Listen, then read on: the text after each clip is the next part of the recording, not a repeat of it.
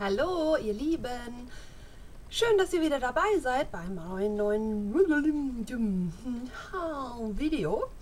Bei meinem neuen, bei meinem neuen Video. Ähm, ja, ich wollte euch meine gesammelten Einkäufe der letzten zwei Wochen zeigen. Ähm, ich habe jetzt relativ viel von dem, was ich haben wollte, bekommen und mehr. Für euch trage ich heute aus der Liquid Suede Reihe von NYX den wunderschönen Brooklyn Thorn. Eins, eine meiner absoluten Lieblingsfarben. So ein schönes Mauve, Braun, Grau, irgendwas. Ja, und wir starten mit ein bisschen äh, Sommerkram. Zum Beispiel habe ich mir geholt das neue Balea Wasserspray Kokos, pure Erfrischung für Gesicht und Körper.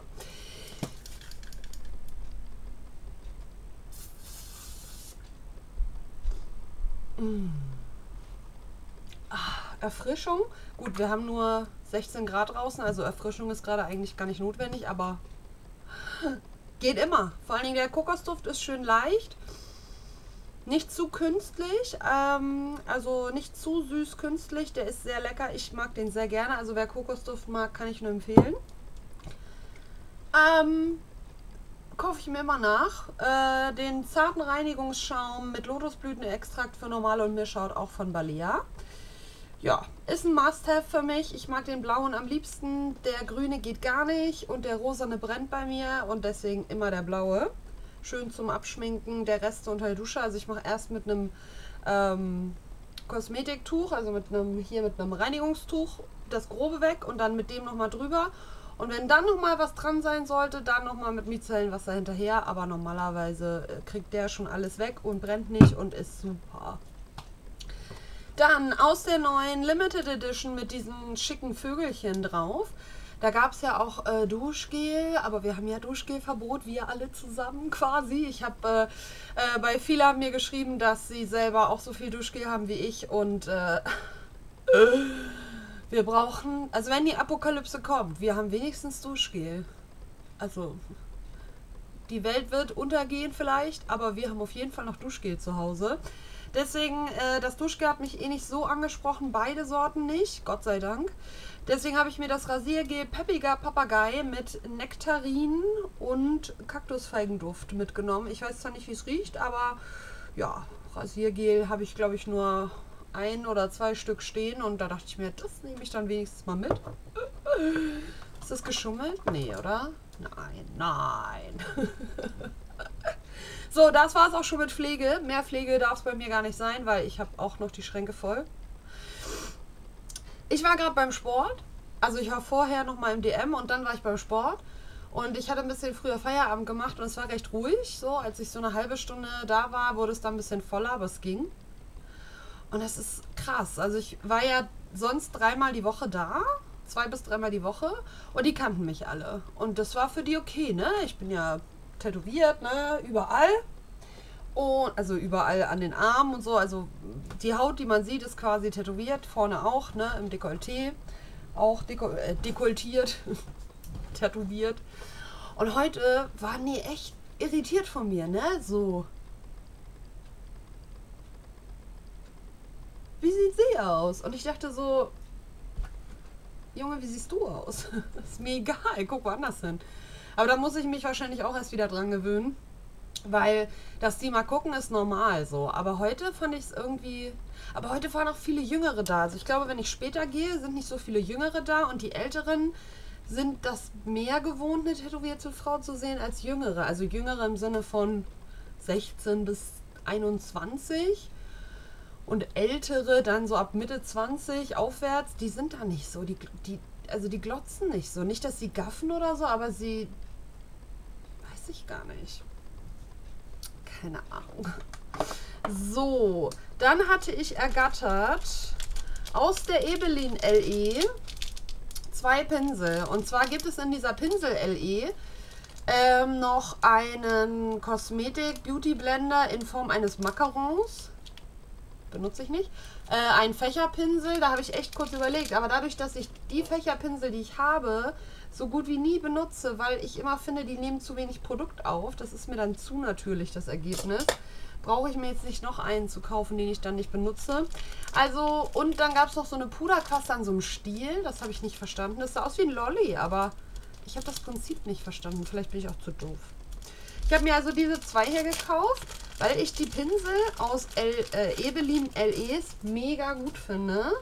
Ähm, das war auch eine Ebelin LE mit diesem Rose Gold. Die, die sind super geil. Ich glaube, das ist auch der Blush Brush, oder? Wo ist denn mein anderer Ebelino? Ebelino, Ebelino. Ebelino to you.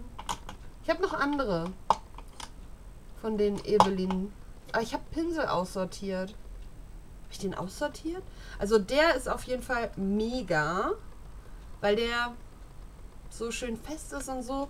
Und ich hoffe jetzt, dass er hier mit diesem wunderschönen blau-rosa Verlauf, oh ja, der ist auch schön fest ge gebunden und ähm, nicht so, nicht so wabbelig und der ist auch schön schmal. Das heißt, für kleinere Gesichter kann man da auch kleiner und für mich, die es großflächiger mag, ordentlich mit auflegen. Sehr, sehr gut. Guter erster Eindruck. Äh, das könnte ein Favorit werden. Ja, ja, ja. Ich überlege gerade, das wurmt mich jetzt gerade ein bisschen mit dem, mit dem Ebelin-Pinsel, weil ich habe aus der LE... Haha! Haha! Also, dann habe ich den Puderpinsel und den anderen Rouge-Pinsel, der war aber nicht angeschrägt. Der aus der jetzigen LE, der ist angeschrägt. Genau, das war der aus der vorherigen LE und das ist der aus der jetzigen. Ähm, verlieren keine Haare, nerven nicht rum, die Pinsel sind super. Könnt ihr euch äh, äh von mir eine uneingeschränkte Kaufempfehlung für die Ebelin LE Pinsel. Also wenn ihr äh, da auf meine Meinung Wert legt, dann ich sag du top, ne? Kannst mitnehmen. Ist ja auch nicht so teuer, also von daher und dann haben wir hier noch den Highlighter und Konturpinsel. Also das, die sagen, das kann man zum Highlighter und zum Konturpuder auftragen benutzen. Finde ich spannend, weil die Größe finde ich spannend. Ja. Hier steht auch im inneren Augenwinkel. Ja, also den kann man in seinen inneren Augenwinkel tun, aber was für ein Monster-Highlight will man sich da reinsetzen? Also, das äh, sehe ich jetzt nicht so. Also ich sehe das eher für hier so. Oder zum Konturieren, ist ja auch schön. Übrigens ähm, habe ich heute ein, äh, das Augen-Make-up gemacht. Ah! Oh nein! Oh, bitte, betet, betet, betet. Eins meiner neuen Schätzchen ist mir gerade runtergefallen. Mir ist kurz das Herz stehen geblieben. Leute. Also, das Amu habe ich mir geschminkt mit den Farben aus meinem MAC Fruity Juicy Blush. Das Oh My Passion Blush aus dieser wunderschönen MAC LE. Ich bin ja wieder sowas von MACaholic. Ich bin wieder so MAC verfallen. Ich darf mir gar keine Videos angucken von Leuten, die Mac-Produkte haben, weil ich dann mal denke, das will ich auch alles. Alles. Ist ja nicht so, dass ich einen Schrank voll habe, aber Mac ist irgendwie so, Mac war immer so, uh, und Mac konnte ich mir nie leisten und jetzt, jetzt habe ich irgendwie gerade so ein bisschen das Bedürfnis, da was nachzuholen irgendwie. Und mit diesem schönen Blush und mit der Idee hat mich Nadine vom Kanal Moldavid angefixt. Ganz liebe Grüße. Ähm, an dieser Stelle habe ich mir mein Arm heute geschminkt. Ich habe mir den Braunton, wo ist mein Finger? Da. Den Braunton hier in die Lidfalte gesetzt und dann mit dem Rosa und dem Rot die, das Lid und mit dem Gelb, mit dem Highlighter-Ton den Innenwinkel. Und unterm Auge auch noch ein bisschen mit dem Rot. Und es ist ein sehr natürliches Ergebnis. Klar, die Pigmentierung ist bei einem Blush-Gesichtspuder natürlich nicht so hoch wie bei einem, bei einem Lidschatten. Also ich musste sehr oft reingehen, ich musste sehr viel auflegen, blenden, auflegen, blenden, auflegen, bis es überhaupt die Intensität hatte, die es jetzt hat. Aber ich muss ganz ehrlich sagen, ich liebe das Ding. Ich liebe das. Also Auch fürs Gesicht, man sieht auch, dass sich die Prägung bei mir schon so ein bisschen abgenutzt hat, ne? Hier so und da. Ich liebe den. Also, ich war versucht, mir ein Backup zu kaufen, aber ich habe es gelassen, weil ich mir so dachte, da sind 8 Gramm drin. Die aufzubrauchen wird eine harte Nuss und du hast noch so viele andere schöne Mac-Schätze und ich habe auch noch mal bestellt, weil die haben ja noch 20 Prozent. Dann gibt es halt keine richtigen Klamotten, nur Flummerklamotten diesen Monat. Das ist auch okay. Man muss halt Prioritäten setzen. Oh Gott. Naja, also macht euch keine Sorgen um mich, ich werde es überleben. So, zurück zum Ebelin Highlighter Pinsel. Der ist auch sehr festgebunden. Also nichts für sehr stark pigmentierte Sachen. Also dann eher, äh, eher dann leicht pigmentierte Sachen nehmen, wie zum Beispiel mein Safari Bronzer aus der letztjährigen P2 Sommer LE. Der hat auch schon äh, kaum noch Profil. Ich gehe da mal rein. Ja. Das macht, das macht schon einen Unterschied, ob man da jetzt äh, einen festgepressten, festgepresst, festgebundenen Pinsel nimmt oder äh, was nicht so festgebunden ist. Also da ist schon deutlich mehr Farbabgabe dann da. Also den mit Vorsicht genießen und äh, eher bei Produkten benutzen, die vielleicht nicht so gut pigmentiert sind oder die die Farbabgabe nicht so stark haben. Da kann man den bestimmt super nehmen. Also auch für Highlighter, die vielleicht nicht ganz so, die man immer schichten muss, da kann man dann sowas echt mega gut benutzen. Finde ich einen coolen Pinsel. Ähm, und bin froh, dass ich ihn mir gegönnt habe. So. Dann war ich ja, ähm, habe ich die Tropicalize LE von Trended Up entdeckt und musste mir dieses Trio hier mitnehmen. Warum weiß ich nicht. Ich habe fünf Stück solcher Trios. Aber dieser, dieser Blushton ist so schön kühl und irgendwie habe ich mich verliebt und ich dachte so, oh, okay, komm mit. Und der Highlighter, Hammer. Ähm, Trended Up hat so ein bisschen mit goldstichigen, relativ dunklen Highlightern. Der Bronzer schimmert auch. Nicht ganz so stark wie der Highlighter, aber ich finde, Trended Up schafft es bei den LE Highlighter Produkten nicht immer unbedingt äh, was für helle Haut dazu zu bringen, also dazu zu tun. Bisher in das Sortiment der, der, ähm, der LE. Gott, ich habe ein bisschen Hunger, merkt man das? Naja, aber diese Farben fand ich halt sehr schön. Und alles andere in der LE hat mich nicht angesprochen. Deswegen dieses Schätzchen. Und ich finde den Namen Tropicalize auch so schön. Tropicalize. Blush and Shine Trio. In der 20. Verzeiht mir das. Es ist Wochenende, ich bin gut drauf, ich war gerade beim Sport, ich habe ein bisschen Muskelkater und alles zusammen macht das dann jetzt aus mir. Morgen ist Flohmarkt, betet alle, dass das Wetter gut wird, dass es hält, dass es nicht regnet. Weil wenn es regnet, gehe ich nicht, weil dann ist da keiner. Oder nur ich. Oder nur ich und Lou. Oder nur ich und Lou und mich. Also mein Freund. Naja, dann äh, bin ich an einem Aufsteller vorbei, den ich eigentlich schon im Kopf abgehakt hatte. Aber die liebe Nelly Cupcake hier auf YouTube und auf Instagram hat mich angefixt. Das ist original ihre Schuld, dass ich mir den gekauft habe, weil ich hatte den schon abgehakt für mich. Weil ich so dachte, äh, Blush Pearls, nee, I want, I want it all. Ja. Ach nee, und die funktionieren ja nie und du benutzt sie ja nicht und was willst du damit? Aber es sind Lollis drauf und sie heißt I Want Candy und es soll ja nach was riechen. Und es riecht irgendwie, aber eher nach Brausepulver als nach Chupa Chups. Und so sehen die dann aus. Die haben, und das hat sie auch gesagt, und deswegen habe ich mir die auch gekauft. Die haben einen wunderschönen Sheen. So, also so ein bisschen fast wie holographisch. Das wird man jetzt wahrscheinlich in der Kamera nicht sehen, oder? Aber so perlmuttig, perlmuttig, duochromig. Wisst ihr, was ich meine?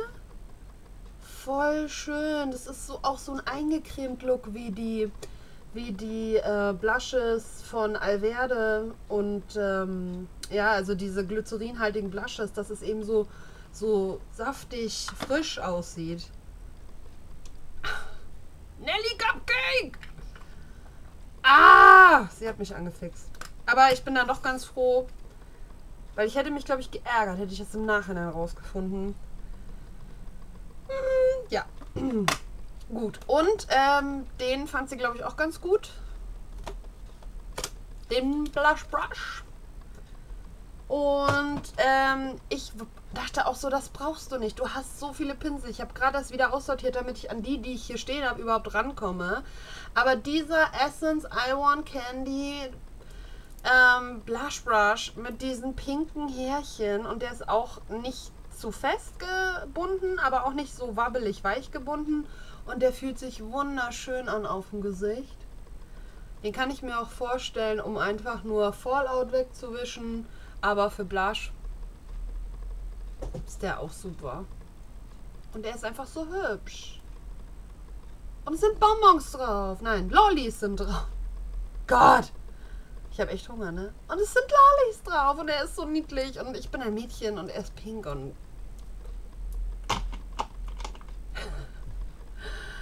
Ich war so gut. Ich habe den dreimal stehen gelassen. Also sowohl die Blush Pearls auch, als auch den Pinsel. Dreimal. Äh. Ja, was muss, das muss, ne? Manchmal kommt man nicht raus aus seiner Haut. Dann Bohemian Bronze. Ihr müsst jetzt ganz stark sein, weil ich werde die Oversprays zerstören. Bam. Ich habe mir beide Bronzer gekauft, jeweils in der 10 Sun Kissed und in der 20 Sun Tanned, weil ähm, ich bin erstens Sammler von Bronzern, zweitens liebe ich den aus der letzten LE so sehr und ich hätte mir die äh, zweite Farbe mitnehmen sollen, weil ich mag momentan einfach lieber eine etwas stärkere Kontur und das ist halt die 10 ähm, African Dream und ich hätte gerne die, die, andere Farbe noch gehabt, wenn, wenn man halt lieber ein bisschen mehr Kontur möchte oder halt den äh, 10er für den Winter und den 20er für den Sommer. Ich bin ein Verpackungsopfer auch, ja, also ihr Lieben, ihr, ich meine, ihr müsstet das, glaube ich, nachvollziehen können. Und allein dieser Palmwedelprint und dieses Overspray und der Name Bohemian. Habe ich Bohemian Bronze gesagt? Ich bin ein verdammter Profi. Bohemian Tropics. Sorry. Also die LE heißt Bohemian Tropics. Wie komme ich denn auf Bohemian Bronze? Ist das nicht die LE von Alverde gerade? Heißt die nicht so? Oder Bohemian Breeze. Also irgendwas ist los mit Bohemian gerade. Und, äh, aber das ist Bohemian Tropics. Die nächste P2LE, die kommt, die kann, entweder kommt die parallel oder ein bisschen später. Die hat so Wassertropfenoptik, die heißt Beyond Blue oder Blue Beyond oder so. Naja. Die soll auch ganz schön sein. Vom Design her mit so Wassertropfen und so, voll cool. So, also Sun Kissed. Meine Nägel passen gut dazu, ne? Ich will es jetzt nicht komplett abmachen, weil ich möchte das Gold noch für Augen-Make-up benutzen, aber hier so an der Seite. Ja, das ist jetzt sehr Gold vom Overspray. Ja, das ist dann natürlich das ist dann eher matt, glaube ich. Samtig zarte Puder. Strahlendes Finish, ohne zu beschweren. Ja, es könnte ein leichter Glanz drin sein. Muss man dann mal gucken, wenn das Overspray komplett weg ist. Ähm, die sind ein bisschen gelbstichig, die Bronzer. Also der hier, der hellere, ist ein bisschen gelbstichig. Den wird man auf meiner Haut wahrscheinlich auch gar nicht so stark wahrnehmen, muss ich gucken. Da war der äh, Suntastic Face Bronzer aus der Beauty Go Safari deutlich dunkler. Wenn ihr das mal so vergleicht. Und der, der in den Adern, das Gold, das war auch so schön. Ich habe echt Hunger, ne? Tut mir leid. Ah, ist noch high und geht auch noch zu. Sehr gut. Also, Bohemian Tropics Nummer 1. hat sich mein Stuhl verschoben. Oh. Die Welt, ne? Die Welt mag mich heute nicht. Doch ein bisschen. Summer of Love, äh, Bronzing Powder 20 Suntanned. Frischen Finger nehmen. So.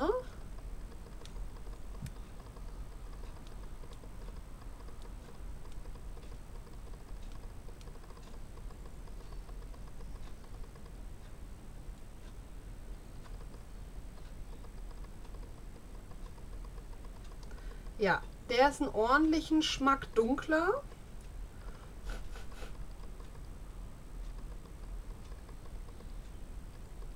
Und der matte, der matte Teil dieses Bronzers finde ich sehr gut. Finde ich echt sehr gut. Der ist quasi eher wie der hier. Ja. Guck mal, das ist eine ähnliche Farbfamilie. Schade. Ich dachte, der wäre noch ein bisschen dunkler.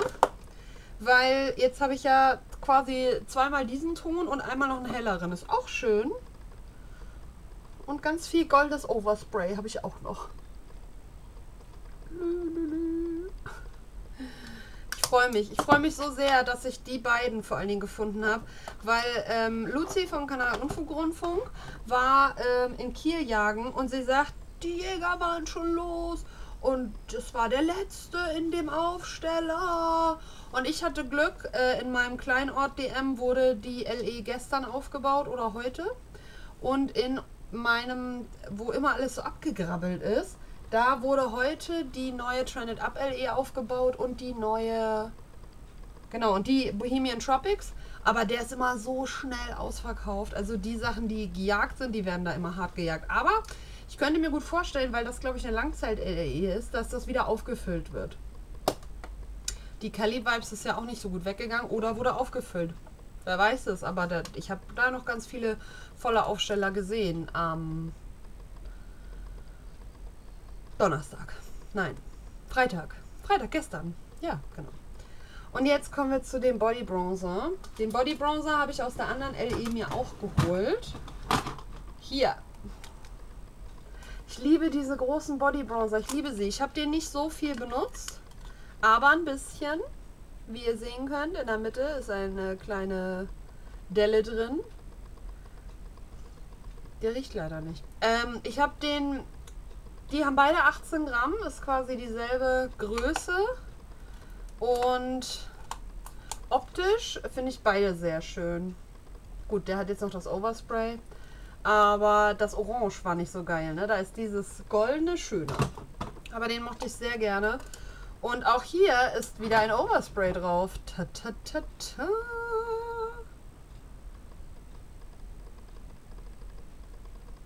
La la la la la la la. Und äh, ja, das ist jetzt auf meinem Finger das Overspray. Ich kann mir ja einfach mal ein bisschen mein Body bronzen, ne? Hier. Ich bronze mein Rehkitz. Geil. Und dieses Puder das ist so unfassbar weich. Und butterweich, wirklich butterweich sind die alle drei, aber der ist am buttrigsten. Und die eigentliche Body Bronzer Farbe ist dann so ein schönes, warmes Braun-Beige. Das ist so eine Farbe, die ich auch gerne als Hautfarbe hätte. Jetzt kommt es ein bisschen gelbsticher rüber. Stich, gelbstichiger rüber, als es in echt aussieht. Aber es ist so ein schöner, leichter Beige-Ton. Also wenn ich mir eine Hautfarbe wünschen dürfte, dann hätte ich gern so ein Beige. So ein, so ein Beige-Oliv. Na gut, weiß äh, mit roten Punkten und blauen Adern ist auch schön, aber ich sag ja nur, falls, falls es die Option gibt, sich was zu wünschen für die nächste Runde auf dieser schönen Welt, das wäre so was, was mir auch gut gefallen würde. Dann im Sale bei Rossmann äh, habe ich tatsächlich noch meine, Augen, meine Augenbrauenpomade nochmal bekommen für 1,99 Mark. Mit Haar dran. Nein, das war ich jetzt. Äh, mit diesem formschönen Pinsel, den ich nicht benutze. Und dieser schönen Anleitung, wie man seine Augenbrauen am besten äh, malen sollte. Vor, vorzugsweise mit äh, künstlichen Wimpern und aufgespritzten Lippen. Nein. Aber mein äh, aus der Sweet Stories Augenbrauenpomade, diese dunkelbraune, die ich täglich benutze. Und äh, wenn ihr dunkle Haare habt, empfehle ich euch die wärmstens. Ich trage die heute, seit heute Morgen um Viertel nach sechs. Ich war damit beim Sport, ich war damit auf der Arbeit. Seht ihr meine verwirrte Augenbraue? Seht ihr, dass da kaum was am Finger ist? So, ich habe die nicht abgepudert. Ich habe heute Morgen nicht abgepudert. Wenn ihr die abpudert, ist die noch, noch wischfester. Also dann geht gar nichts ab. So. Und jetzt sag mir mal, dass diese Augenbrauenpomade nicht geil ist. Für 3,50 im Original war die schon Porno. Und für 2 Euro ist die der Hammer. Ich liebe mein Backup. Ich war so froh, als ich in dem Grabbelkörbchen meine Augenbrauenpomade liegen sah. Ich dachte nur so, hallo. Schatzi, komm, was liegst du denn da rum? Mama nimmt dich schnell mit, damit sie dich dann noch weiter benutzen kann, wenn sie dieses, keine Ahnung wie viel Gramm Monster jemals aufgebraucht hat. Dann braucht sie sich nämlich keine teure zu kaufen. So, und jetzt kommen wir zu den zwei Schätzchen, die ich mir gegönnt habe, weil ich rausgefunden habe, dass MAC Cosmetics, je nachdem, da scheint es einen Zufallsgenerator zu geben, selbst wenn du ein Kundenprofil hast und schon mal da bezahlt hast, äh, scheint es da äh, einen Zufallsgenerator zu geben, äh, wie du bezahlen kannst. Ich konnte jetzt auf Rechnung bezahlen. In der zweiten Bestellung habe ich per, mit Bankeinzug bezahlt. Ganz klassisch Rechnung, ganz klassisch Bankeinzug. Äh, ich würde da anrufen, eine Mail schreiben, wenn ihr da immer nur Kreditkarte und Sofortüberweisung kriegt. MacCosmetics.de hat bis 2.7. 20% auf alles. MacCosmetics.de ist in der, in der Regel so 1 Euro günstiger als die Mac-Produkte bei Douglas. Was mir aber nur aufgefallen ist, weil ich in meinem Warenkorb bei Douglas dieselbe Bestellung hatte wie bei MAC Cosmetics und äh, festgestellt habe, dass ich bei Douglas 20% kriege und bei MAC auch. Aber bei MAC kriege ich immer ein Free Sample. Äh, in diesem Fall habe ich mir eine Mascara mitbestellt. Wo ist die? Da? Nein, da. Hier, die MAC False Lash Extreme Black. Die gab es gratis dazu, zu dieser Bestellung. Ähm, und zu meiner jetzigen habe ich mir auch wieder eine Mascara mitbestellt. Die Extreme Dimension, keine Ahnung was, Mascara von MAC. Und bei Douglas gab es nichts. Alles, was bei fraushopping.de auf der Seite angezeigt wurde, was Douglas äh, Gratisbeigaben anging, war schon vergriffen. Und mein Geschenk weil ich einen Warenkorb über 75 Euro hatte, wurde mir auch nicht angezeigt. Das heißt, ich hätte nichts bekommen. Außer zwei Duftproben für meinen Freund, weil alle anderen Proben, die da sind, finde ich meistens uninteressant. Also habe ich bei MAC Cosmetics geguckt und sehe so, dass das fast 4 Euro weniger waren ähm, als bei Douglas. Da kosten die Sachen bei Douglas alle ungefähr einen Euro mehr als bei MacCosmetics.de. Ey Douglas. Dein Ernst? Geht gar nicht. Ich dachte, das sind feste Preise. Also es gibt ja Marken, wo das ein bisschen variiert, aber es gibt Dinger, wo man so denkt, ja, das ist der Preis und den bezahle ich dann. Und merk so, ja, und äh, Douglas so, ach komm, hauen wir auf die Mineralized Skin Finish äh, Blushes mal noch einen Euro drauf. Nein? Egal. Die zwei habe ich mir bei MAC bestellt.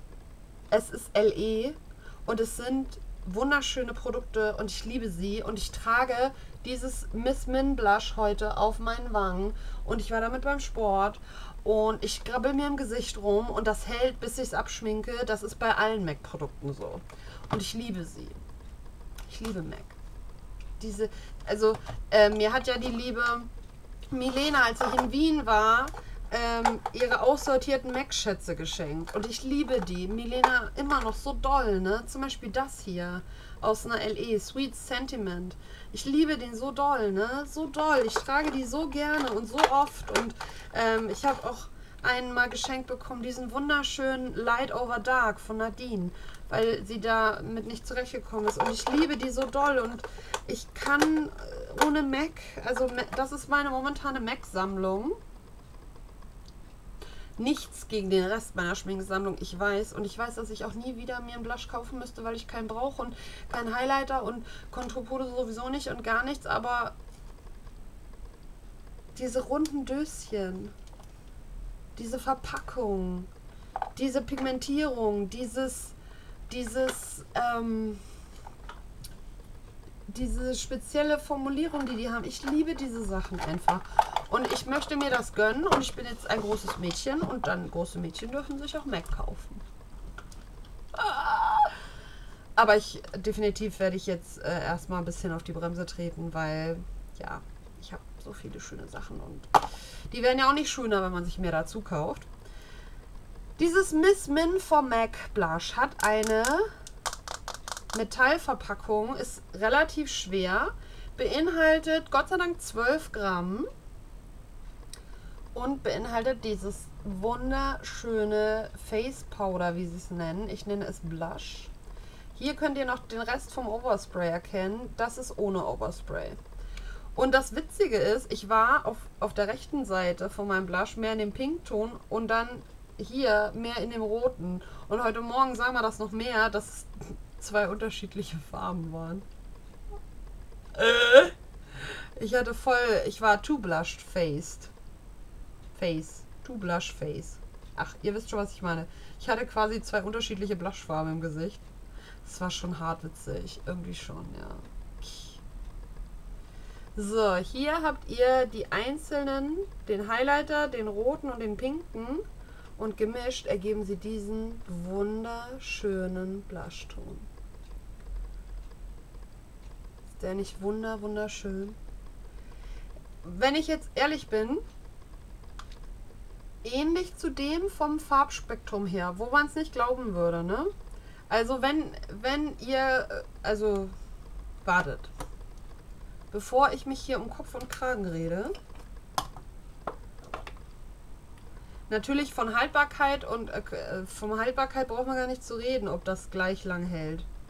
Ja gut, es ist ein bisschen rötlicher, aber vom Typus her, hier ist der, hier das, das hier ist der Essence, der pinke und der rötlichere ist der Miss Mint von MAC. Aber vom Typus her, von diesem von diesem Schien her sind die sich schon ähnlich. Also, falls ihr die auch abgeschrieben hattet wie ich, vielleicht nochmal angucken. Super schönes Teil. Ich bin total verliebt. Mein Akku hat noch einen Strich. Justine Sky LE Iridescent Face Powder. Uh, ihr wisst, dass das mein Ding ist, ne? Ihr wisst es, ich weiß es. Justine wusste es auch, als sie das designt hat, dass das einfach für mich gemacht ist. Ist ein irisierendes Gesichtspuder als Blushtopper, als Lidschatten benutzbar. Ist der noch da? Ja. So. Und die Kamera kann es nicht einfangen. Das war so klar. Auf meinem Fingerchen seht ihr dann die Compressed-Variante. Macht einen wunderschönen Sheen. Gibt es noch im Mac Store in dem Mac, Cos äh, äh, im Mac Cosmetics Online Shop. Beide gibt es noch im Mac Cosmetics Online Shop. Die Verpackung glitzert ganz toll. Ich sage ganz, ganz, ganz, ganz, ganz vielen Dank fürs Gucken. Ich hoffe, das Video hat euch gefallen und wir sehen uns beim nächsten Mal wieder. Und tausend Küsschen und ich schaff's noch ohne Cliffhanger. Ja! Bis dann, ihr Süßen. Ciao!